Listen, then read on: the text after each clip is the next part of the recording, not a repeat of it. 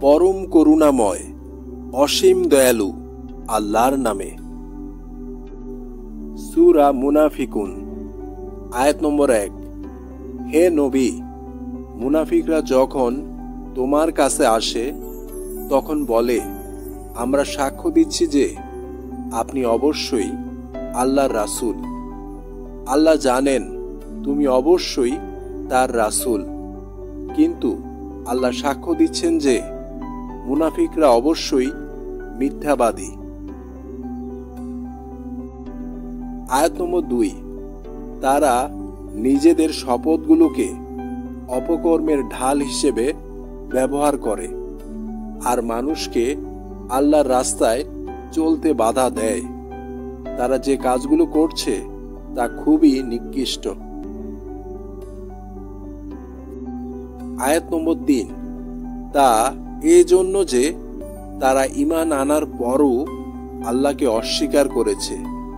তাই তাদের অন্তরে মোহর লাগিয়ে দেয়া হয়েছে, যার ফলে তারা কিছুই বুঝে না। আয়াত নম্বর চার, হে নবী, তুমি যখন তাদের দিকে তাকাও, তখন তাদের দেহভঙ্গি তোমার কাছে খুবই আকর্ষণীয় মনে হয়। আর তারা যখন কথা বলে, তখন তাদের কথা তোমার শুনতেই ইচ্ছা করে।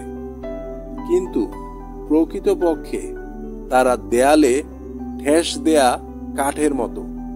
অর্থাৎ দেখন সুরত, কিন্তু কার্যক্ষেত্রে কিছুই না। কোনো শোরগোল শুনলেই এই মুনাফিকরা সেটাকে নিজেদের বিরুদ্ধে মনে করে, কারণ তাদের অপরাধী মন সবসময় শঙ্কিত থাকে। এই বুঝি তাদের সব কুকীর্তি ফাঁস হয়ে গেল। এরাই আসল শত্রু। সুতরাং তাদের ব্যাপারে সতর্ক থাকো। এদের উপর আল্লাহর গজব। তারা কীভাবে সত্য থেকে ফিরে যাচ্ছে? আয়াত নম্বর পাঁচ। যখন তাদেরকে বলা হয়, এসো আল্লাহ রাসুল তোমাদের জন্যে ক্ষমা প্রার্থনা করবেন। তখন তারা মাথা নেড়ে অস্বীকৃতি জানায়। আর তুমি দেখবে, তারা দম্ভ ভরে তোমার নিকট আসা থেকে বিরত থাকে।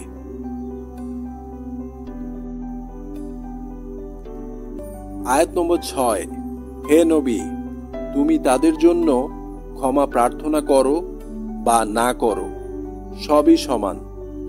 আল্লাহ তাদের ক্ষমা করবেন না। আল্লাহ এই পাপাচারী লোকদের সঠিক পথ প্রদর্শন করেন না। আয়াত নম্বর সাত।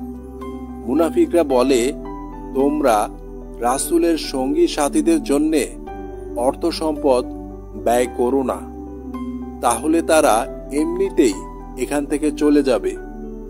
আশ্চর্য, আসমান জমিনের সকল ধন ভাণ্ডারের মালিক তো আল্লাহ কিন্তু মুনাফিকরা তা বুঝে না।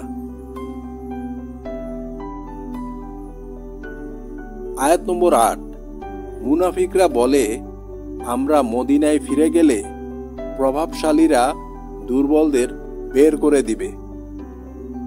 মদিনার স্থানীয়দের মধ্যে যারা মুনাফিক ছিল, তারা মক্কা থেকে হিজরত করে আসা লোকদের আশ্রয় প্রার্থী ও দুর্বল বলে হেয় প্রতিপন্ন করত। কিন্তু প্রভাব আর মর্যাদা তো আল্লাহর, তার রাসূল এবং বিশ্বাসীদেরই।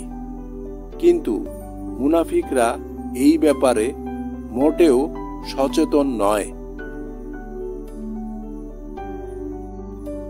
আয়াত নম্বর নয়, হে বিশ্বাসীগণ, তোমাদের প্রতিপত্তি, ধন সম্পদ ও সন্তান সন্ততি যেন তোমাদেরকে আল্লাহর স্মরণ থেকে গাফেল বা উদাসীন না করে। যারা এমন করবে, তারাই ক্ষতিগ্রস্ত।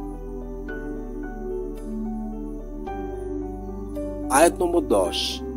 আমি তোমাদেরকে যে ধন সম্পদ দিয়েছি, সময় থাকতেই তা থেকে অন্যের জন্য ব্যয় করো, যাতে মৃত্যুর মুহূর্তে এ কথা বলতে না হয়। হে আমার রব, আমাকে আরেকটু সময় দাও। আমি দান করে সৎকর্মশীলদের অন্তর্ভুক্ত হই।